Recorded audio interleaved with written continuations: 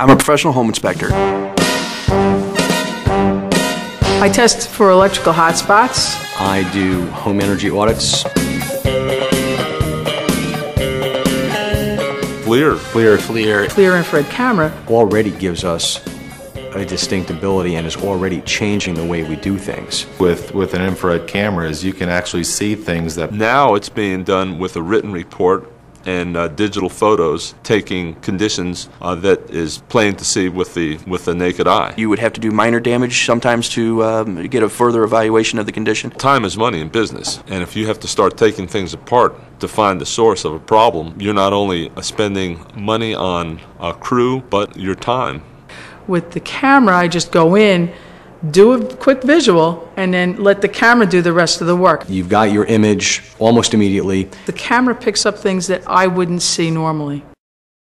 We could do a quick and thorough uh, analysis of very large areas. It has uh, given us the ability to do the, the diagnostics as a non-destructive test. using the infrared technology down here in, in Florida, we primarily find water intrusion or, or water infiltration. Water will have its own uh, signature and kind of an irregular pattern. Okay, what we're, we're looking at the ceiling in the kitchen, trying to identify any potential problems. Right here, right next to the AC vent, we actually see what appears to be a, a roof leak or moisture on the back of the drywall. We're in a heating climate, and so we're looking at primarily heat loss. The FLIR camera has been very helpful in being able to pinpoint areas of homes that aren't properly insulated. We can come in, turn the camera on, do a scan, and in 30 seconds, I know whether there's insulation in the walls or not. And when I bring a crew in, instead of having them try to re-insulate a whole house, we can focus uh, on the particular spots that the FLIR camera shows are in need of insulating. Well, electrically, it actually shows you more issues going on than you could actually see with your visual eye. If there's a bad breaker, it'll show up as a glowing of the breaker. If there's a problem in the circuit, the wire actually glows, and the camera picks it right up. It's handheld, it's easy to carry in attics and crawl spaces. It's lightweight. The FLIR infrared cameras are, are real easy to use. It's point and shoot.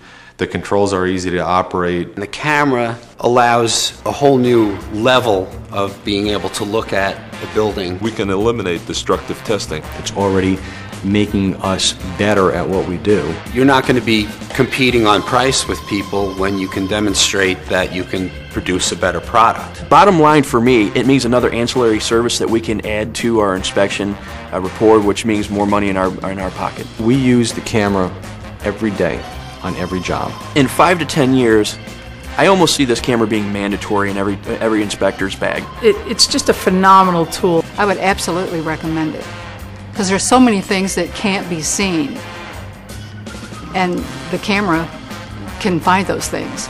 Electrical issues inside the panel, moisture penetration issues. Inadequate insulation. All your plumbing systems, HVAC, ceilings, roofs, behind walls, endless.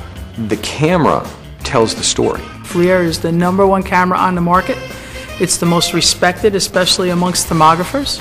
I would hope somebody would say, well, we know an inspector that could probably find this out. That would be Harry Morrell. He's got an infrared camera by FLIR.